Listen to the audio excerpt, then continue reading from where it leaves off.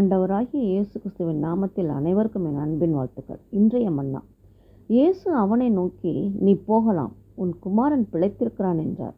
அந்த மனுஷன் இயேசு சொன்ன வார்த்தையை நம்பி போனான். யோவான் நாலு ஐம்பதில் பார்க்குறோம். ஒரு ராஜாவின் மனுஷன் தன் மகன் மரண அவஸ்தையில் இருப்பதால் அவன் சாவதற்கு முன்னே வந்து அவனை குணமாக்கும்படி வரவேண்டும் என்று இயேசுவை வருந்து கேட்டுக்கொண்டான். ஆனால் இயேசுவோ நீ போகலாம் உன் குமாரன் பிழைத்திருக்கிறான் என்றார். நாம் அந்த இடத்தில் இருந்திருந்தால் நாம் என்ன செய்திருப்போம்? இயேசுவின் வார்த்தையை விசுவாசித்திருப்போமா? ஆனால் அந்த மனுஷன் இயேசுவின் வார்த்தையை நம்பி போனான். அவனது நிலைமையில் வார்த்தையை நம்பி போவதென்பது கடினமான காரியம்தான். ஆனால் அவர் இயேசுவின் வார்த்தையை விசுவாசித்து போனான். அவனுடைய மகனும் பிழைத்து கொண்டான். ஆண்டவர் வார்த்தையிலே கட்டப்படுகிற வாழ்வு எப்படிப்பட்டது என்பதை தன்னை சுற்றியுள்ளவர்களுக்கு விளங்க வைத்தார் அதாவது கண்மலையின் மேல் தன் வீட்டை கட்டினவன் ஒருவன் பெருமழை சொரிந்து காற்று அடித்தும் அது உறுதியான அஸ்திபாரத்தில் கட்டப்பட்டிருந்ததால் விழவில்லை. மணலின் மேல் தன் வீட்டை கட்டினவன் மற்றவன். அதன் அஸ்திவாரன் உறுதியற்று இருந்ததால் பெருமழைக்கும் காற்றுக்கும் ஈடு கொடுக்க முடியாமல் விழுந்து விட்டது என்றார். வார்த்தைகளை கேட்டு அதன்படி செய்கிறவன் கண்மலையின் மேல் வீட்டை கட்டினவனுக்கும் வார்த்தையை கேட்டு அதன்படி செய்யாதவனோ மணலின் மீது வீட்டை கட்டினவனுக்கும் ஒப்பாவான் என்றார். நாம் அவருடைய வார்த்தையை கேட்டு அறிந்து வார்த்தைக்கு கீழ்ப்படிந்து நம் வாழ்க்கையை நடத்துவோமானால் நம்மையும் நம் குடும்பத்தையும் கர்த்தர் கண்மே கண்மலையின் மேல் நிறுத்துவார்.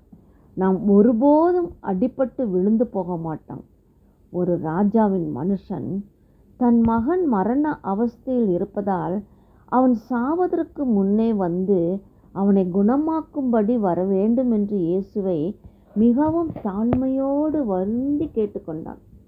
ஆனால் இயேசுவோ நீ போகலாம் உன் குமாரன் பிழைத்திருக்கிறான் என்றான். அந்த இடத்தில் நாம் இருந்திருந்தால் என்ன செய்திருப்போம்? என் என்ன செய்திருப்போம்? என் மகனை வந்து தொட்டு குணமாக்குங்கள் என்று கேட்டால் அவர் நீ போ உன் மகன் பிழைத்திருக்கிறான் என்று சொல்லுகிறாரே என்று குழம்பி போயிருந்திருப்போம். கோபப்பட்டிருப்போம். ஒருவேளை அவருடைய வார்த்தையை நம்பியிருக்க மாட்டான் மாட்டோம். ஆனால் அந்த மனுஷன் அவருடைய வார்த்தையை நம்பி போனான். அப்படிப்பட்ட சூழ்நிலையில் அவன் வார்த்தையை நம்பி போவது என்பது கடினமான காரியம்தான். ஆனால் அவன் அவர் வார்த்தைக்கு கீழ்ப்படிந்து போனான். இயேசு சொன்னது போலவே அவனுடைய மகனும் உயிர் பிழைத்திருந்தது தான் நமக் நமது முக்கியமான பிரச்சனையே தேவ வார்த்தையை நம்ப கஷ்டப்படுவது தான் இன்று நம்மில் பலர் என்ன நினைக்கிறோம்? இந்த வார்த்தைகள் மனிதரால் எழுதப்பட்டது தானே இதை எப்படி நம்புவது என்று நினைக்கிறோம். கிறிஸ்தவ வாழ்க்கை விசுவாசத்தில் கட்டப்பட்டிருக்க வேண்டும்.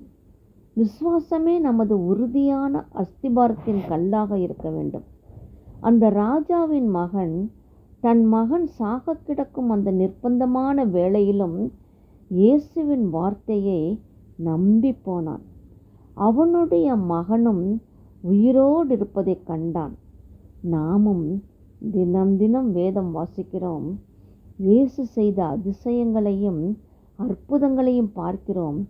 நாம் தேவனுடைய வார்த்தைக்கு எவ்வளவாய் முக்கியத்துவம் கொடுக்கிறோம்? எவ்வளவாய் அவரில் பிரியமாக இருக்கிறோம்? நம்முடைய வாழ்க்கையில் அவ்வார்த்தைகளை பிரயோஜனப்படுத்தி கொள்கிறோமா? அவரில் நிலைத்திருக்கிறோமா?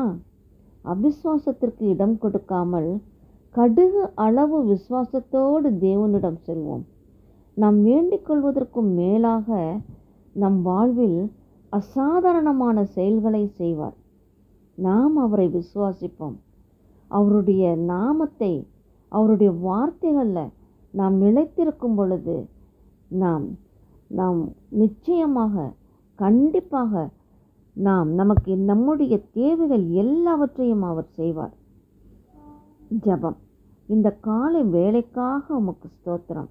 இந்த நாட்களிலும் நாங்கள் சந்திக்கிறதான பிரச்சனையான வேலையிலும் கர்த்தருடைய வேலை வார்த்தையில் நம்பிக்கையிலும் விசுவாசத்திலும் தளர்ந்து போகாதபடி எங்களை காத்துக்கொள்ளும். ஆமேன்.